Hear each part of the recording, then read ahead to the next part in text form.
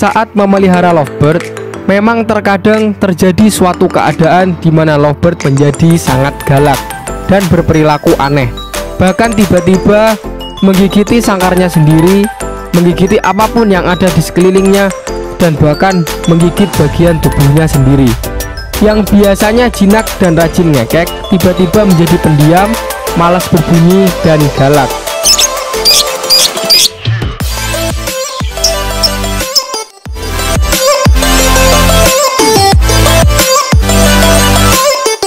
Namun Anda tidak perlu khawatir jika tiba-tiba lovebird Anda mengalami hal tersebut. Bukan berarti lovebird yang tiba-tiba menjadi sangat agresif dan galak tidak bisa diatasi dan dikendalikan. Ada tata caranya bagaimana untuk menenangkannya kembali. Tetapi ada baiknya Anda harus mengetahui terlebih dahulu apa penyebab perubahan kondisi yang terjadi pada lovebird Anda.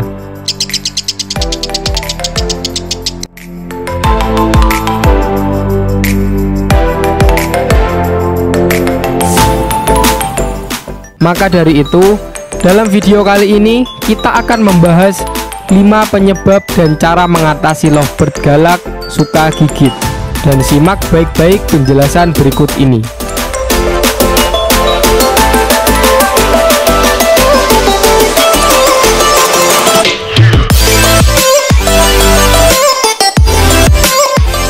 Biasanya, lovebird yang tiba-tiba berubah menjadi agresif, galak, dan suka menggigit serta malas berbunyi dikarenakan suatu penyebab. Ada lima penyebab yang membuat lovebird memasuki keadaan tersebut.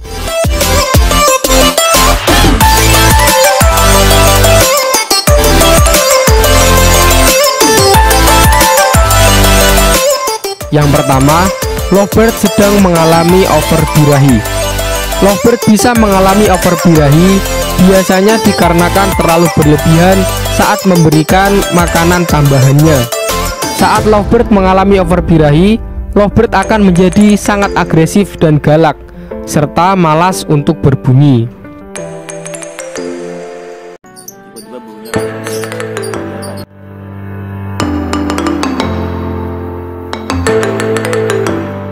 Gejala yang kedua adalah lovebird sedang sakit. Ciri-ciri lovebird yang sedang sakit adalah ketika lovebird mengembungkan bulu-bulunya dan bersikap galak.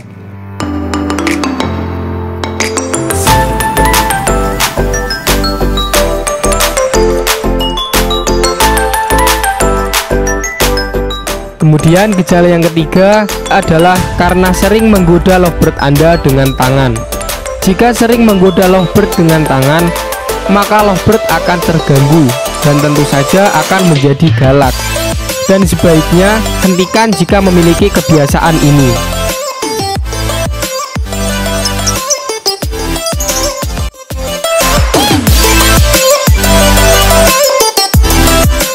Kemudian gejala yang keempat yaitu lovebird sedang merasa lapar. Pastikan untuk selalu mengecek wadah pakan lovebird. Jika sudah habis, maka harus segera diisi kembali. Lovebird yang kelaparan tentu saja akan menjadi galak.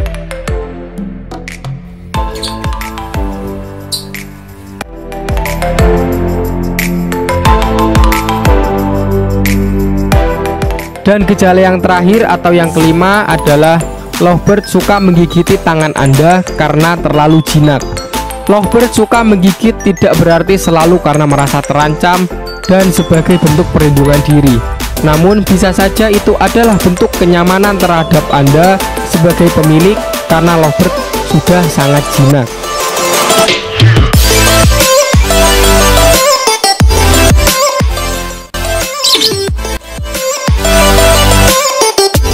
Oke, itu tadi adalah penyebab-penyebab kenapa tiba-tiba lovebird menjadi galak, agresif, dan suka menggigit. Nah, kemudian bagaimana cara untuk mengatasinya? Untuk mengatasi lovebird yang sedang memasuki keadaan tersebut, bisa dilakukan dengan cara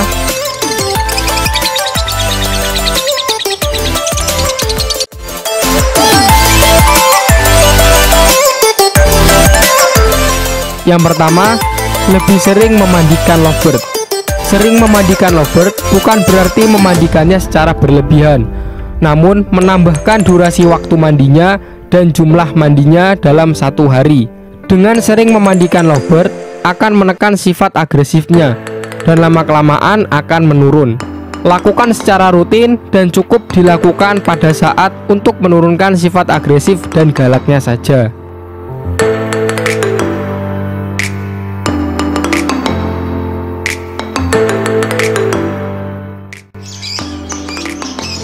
Cara yang kedua adalah rajin menjemur lovebird. Setelah dimandikan, pastikan untuk selalu menjemur lovebird seperti biasanya. Cukup lakukan selama 20 sampai 30 menit saja. Setelah itu, pindahkan ke tempat teduh kembali.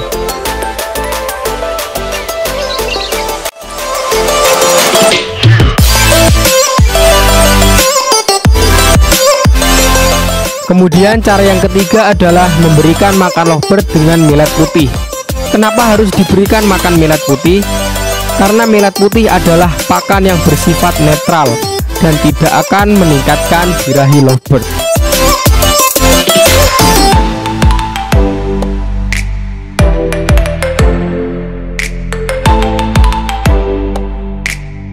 Cara yang keempat yaitu melakukan pengkerodongan di sore hari. Pengkerodongan dilakukan agar lovebird bisa beristirahat dengan tenang, sehingga bisa menekan sifat galak dan agresifnya. Lakukan pada sore hari dan letakkan di tempat yang terhindar dari keramaian dan kebisingan.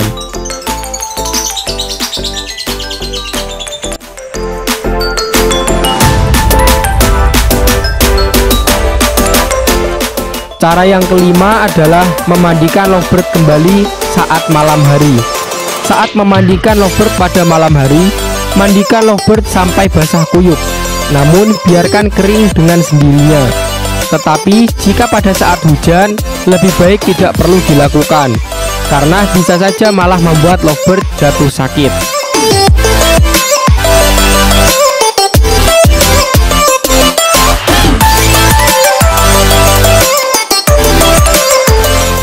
Cara yang keenam adalah memberikan lovebird teman atau pasangan. Lovebird yang agresif bisa saja karena sudah bosan sendirian dan birahinya sudah memuncak. Itu berarti lovebird sudah meminta untuk segera dikawinkan.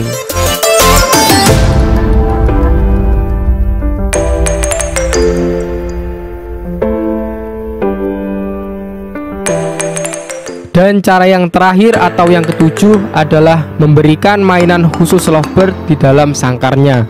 Memberikan mainan di dalam sangkar bisa digunakan oleh lovebird sebagai teman bermain dan untuk menghilangkan kebosanannya.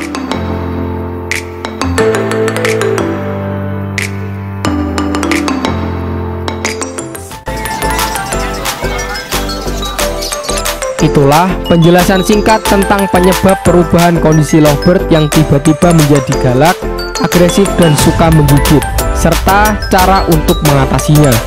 Selalu perhatikan kondisi lovebird Anda, jangan membuat lovebird menjadi bosan, namun berikanlah kenyamanan sebaik mungkin.